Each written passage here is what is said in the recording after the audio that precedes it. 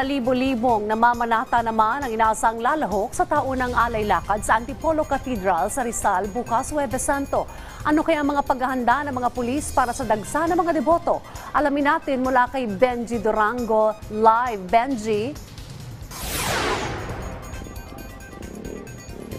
Dayan, libo-libong mga namamanata ang inaasahang dadagsa dito sa Our Lady of Peace and Good Voyage o mas kilala sa tawag na Antipolo Cathedral. Bahagi ng makalumang tradisyong Pilipino ang alay lakad tuwing Semana Santa. Ang ibang deboto dumarayo sa simbahan ng nakapaa bilang kanilang panata. Inaasahan ng city government ng Antipolo ang dagsa ng mga tao kaya maagang naglatag ang lungsod ng kanilang paghahanda. Malaki na ang pinagbago ng simbahan, mas maliwanag na dahil sa mga itinagdag na mga ilaw sa paligid, maayos na mga daan papasok at palabas ng simbahan at malinis na palikuran. Bukas pa inaasahan ang dating ng mga tao kaya naman ang PNP magpapatubad na ng kanilang ah, rerouting ng trapiko para masigurong ligtas sa mga dadaan o dadaanan ng mga deboto. Mula alas 6 ng gabi ng March 28 hanggang alas 6 ng umaga ng March 29, isasara sa kahit na anong sasakyan ang mga kalsadang ito. Tikling hanggang Shopwise, JP Rizal, P. Olivares, ML Quezon, Carigma, San Jose, Silawis, Masangkay, Bonifacio, De La Paz, Daang Bakal Road, Marigman at Cabrera Road. Sa mga light at heavy vehicles naman galing poblasyon ng Antipolo at kalapit na, ba- na mga bayan ng Teresa at Angono papuntang Marcos Highway at vice versa, pwede kayong dumaan sa kalsada ng Circumferential Road, Sumulong Highway o Lalya Road pero para lamang po ito sa mga light vehicles.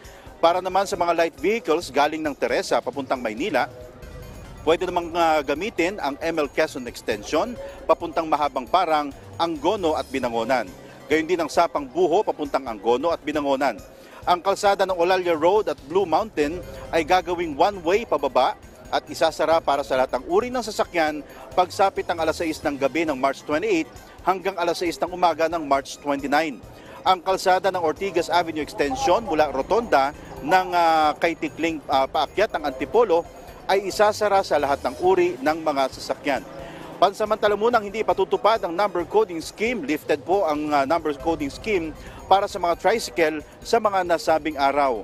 Nagpaalala rin ng PNP sa mga magtutungo dito simula bukas gaya ng pagdadala ng pagkain at inumin, pagdadala ng ID, gamot at payong, pagsasanitize at pagsusuot ng komportabling damit, pagdadala ng ah, sapat na pera pero pakiusap nila iwan ang mga mamahaling gamit. Sakali naman may emergency, agad lumapit sa Police Assistance Desk para kayo'y matulungan. Samantala, Dayan, nagbili naman ang ah, mga otoridad para sa mga mana, mamamanata na gawing ligtas ang, at ah, payapa ang Alay Lakad 2024 ngayong taong ito. Dayan? maraming salamat Benji Durango.